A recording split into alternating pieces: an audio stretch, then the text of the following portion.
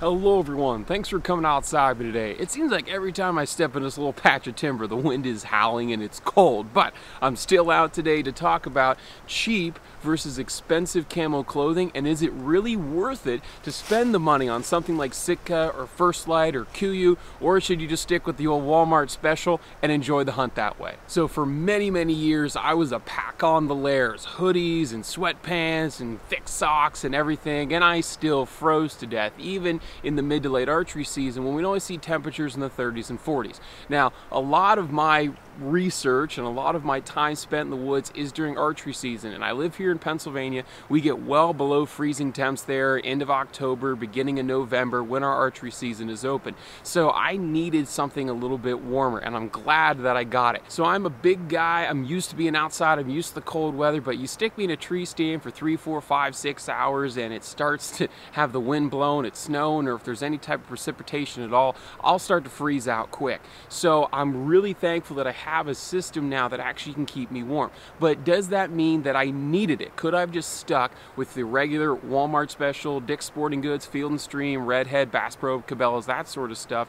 Or did I really need to jump up in price point to really keep me comfortable in the woods? So first things first for me, this is a godsend. I get cold relatively quickly. I'm a big guy. I got a lot of area for my heart to pump my blood through. I know that sounds a little too scientific, but it is true. If you're not keeping your core warm and keeping this part where the vast majority of your uh, large arteries and veins are, your blood's gonna start pumping through your system a little bit cooler and you're gonna get colder faster, in particular if you have long arms and legs like I do. So let's start with the cheaper camo first. So this is just a cheap game hide uh, jacket that you can get at Walmart, Mossy Oak camo, and it's built just like you would expect a jacket to be built. It has, you know, some pockets in the front here, it has hand pockets on the side, standard zipper, has some buttons on the cuffs, and it has a little bit of a quilt lining on the inside, but not a whole lot of thermal insulation. Also, there is no wind barrier or precipitation barrier whatsoever. Now, right now it's in the mid to low 30s. We have a good 10, 15, 20 mile an hour wind at some points, and I can feel it. I can feel it coming through me. I'm only wearing a t-shirt underneath this, and I have nothing on my sleeves. I can feel that breeze. Now, for me up and about and moving right now, it's not a problem. But when I'm sitting on stand and I'm stuck 15, 20 feet in the air in a tree stand, that wind will start to permeate and I'll start to get cold in a hurry. I'm a strong believer if you're not gonna stop the wind with some sort of membrane, something to keep that wind from blowing through you and taking your warm air, your warm thermal insulation that you're trying to build up inside your clothing, you're gonna get cold. So you can pack on as many layers as you want, but if they're gonna breathe and allow your warm air to escape, you're gonna get cold and you're gonna get colder probably faster than you want to. Now, particularly here in Pennsylvania during the rifle season, during that December timeframe, it gets bitter cold. Uh, last year or two years ago, I was hunting in negative temps, definitely negative teens with wind chill. You do not want to be wearing a very thin thermal break when it comes to those kind of temperatures. Now, if you live in the south or if you live in an area where it does not receive that kind of temperature, then you might be able to get away with something like this. Now, of course, the price point anybody can get away with it, right? You're spending 40, 50 bucks on a coat, you don't feel too bad, just pack on the layers and be done with it. But let me throw on the Sitka jacket and talk specifically about why I'm so happy I have this system and also why this jacket is just built better. Forget the whole cold thing, it's also just built better. It's built more specifically for a hunter and particularly me, a bow hunter. All right, even in the few brief seconds of me having this on here, I don't feel any wind permeating this jacket, which is awesome. Now, this is built as it claims on here with a wind stopper from Gore-Tex. I don't know if it has some sort of membrane in it, but I can't feel it. And I've been hunting out of this jacket now for two years in well below freezing temps. I've arrowed a couple of deer out of this jacket. It is a fantastic system. Plenty of movement. It's built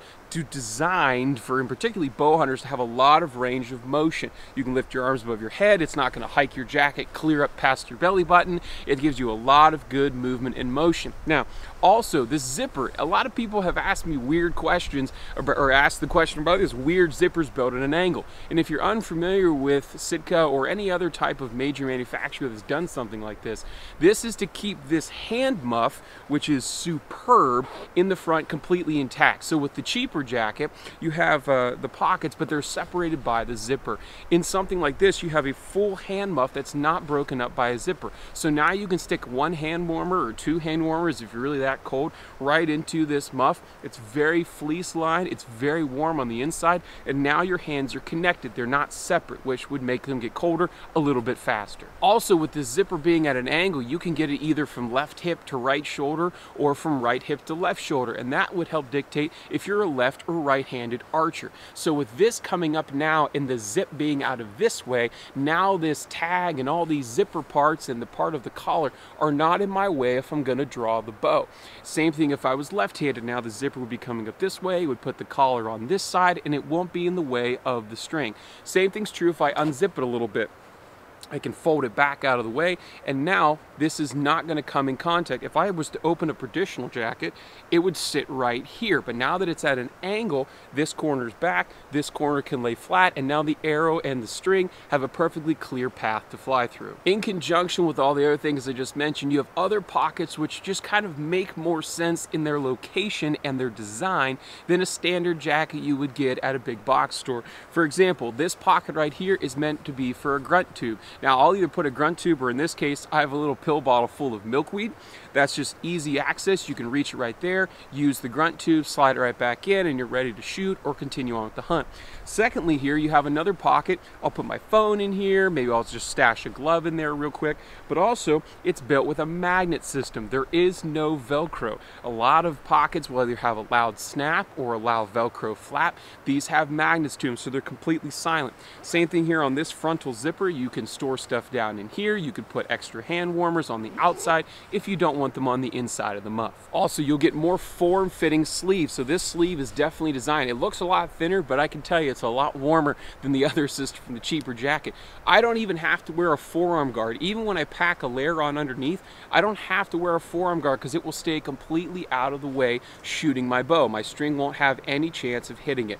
The cuffs are built a little bit softer. They're also very tight fitting. Whereas on a cheaper jacket, you might have some cheaper elastic or a button cuff like this one has, and you won't get that perfect nice seal, and you'll get that cold air going up into your sleeve or down into your glove, and that's just uncomfortable over a length of time. Also, I like the fact that all of these pockets appear, including this zippered one right here, which is quite large. This is where I'll commonly just keep my phone because it's nice and warm, but I'll also stick a chest warmer in here because it's right on my sternum the, all these pockets are at an angle because the zipper's at an angle and pockets that are on an angle are easier to access because if you're thinking about this hold your bow. You don't want to be kind of reaching straight down into a pocket or kind of straight at it because stuff might fall out. It's at an angle right here I can reach in and I can slide it in a little bit easier. Now that might seem kind of ridiculous but it's deliberately planned that way. It's specifically designed for a hunter thinking what is a hunter going to need in those do or die situations in those big buck moments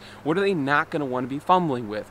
And angled pockets, this angled zipper, this large muff, the ability to stop the wind, it's just a win-win situation. Now, of course, the question is, is the price tag worth it? This jacket is several hundred dollars, and I will say it is totally worth it if you hunt in a cold climate like I do here in Pennsylvania. Or if you're anywhere else in the Northeast or due north or out in the Midwest where you're really going to see those freezing temps through most of your bow and firearm seasons. Now, there are certain parts I don't think are necessary. For example, this is the Fanatic hoodie. This is the Fanatic jacket from Sitka. This is the Fanatic hoodie. This is a very thin, although there is a little bit of thermal layer to it, it's a very thin hoodie. It's great for layering underneath this jacket, but for probably 85% of the bow season here in Pennsylvania, it is way too thin. I would freeze to death, even with like a nice merino wool base layer. For me, it's just not warm enough. So it's great as an undergarment, but it's not great to spend a hundred and some dollars, in my opinion, on just one single undergarment. Now it's built to be tucked in, it has a long uh, backer on the hem, the sleeves are very tight and form-fitting, it has thumb holes so you can pull it through the sleeves and not have it get bunched up. It's very well thought out in that way, but personally I don't think it's 100 and some odd dollars thought out that way. So most of the time under this I'm wearing some sort of flannel or fleece layer Uh, this will go on if it's definitely going to be a much colder temperature, teens and 20s and below, particularly with a little bit of wind chill.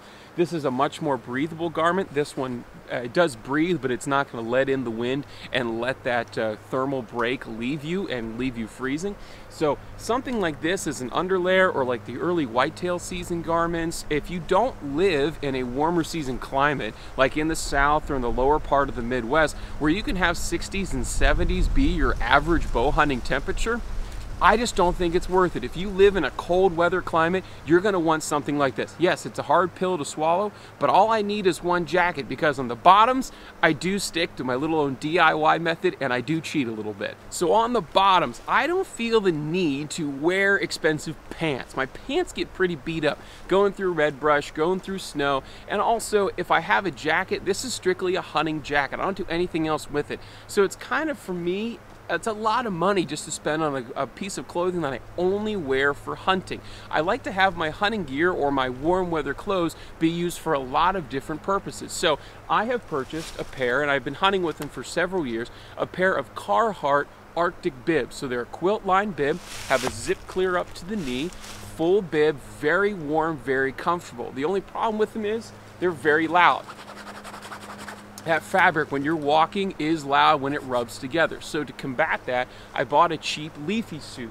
This is from North Mountain Gear and even though it is a little bit green, I still do wear it even during the late season. The deer don't seem to mind.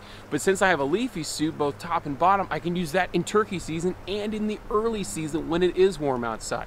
So I have multiple clothing garments, multiple different options for way less than if I was to buy an expensive pair of bibs or hunting pants meant for cold weather hunting. I do everything in these bibs. I hunt, I blow snow, I go play with my kids and sled ride. I do everything because they keep me warm they're almost completely windproof, very, very close to waterproof, not perfectly, but they're definitely gonna keep me dry on a drizzly, cold, snowy day wonderful. They're about a hundred bucks, and with all their uses, I can definitely swallow that money. So on the top, I like to have a specific hunting jacket because I just get all the motions and this is where all of my gear is stored. This is where everything is, needs to be accessible and smart and warm with this hand muff in particular.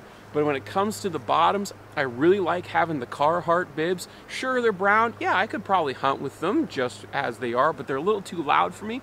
So I put that leafy suit over top of them, makes them dead quiet, and I am cold, free, uh, moisture free from any precipitation, and I'm really able to enjoy my hunt. So in summary, get something that's on the top. If you're in a cold season climate like I am in Pennsylvania, save up your money and buy something if you're tired of being cold. Personally, Sitka I think is the best option you could have for that. KUIU and First Light and there are a couple other brands out there also make really high quality equipment, but I think that Sitka has really hit it out of the park.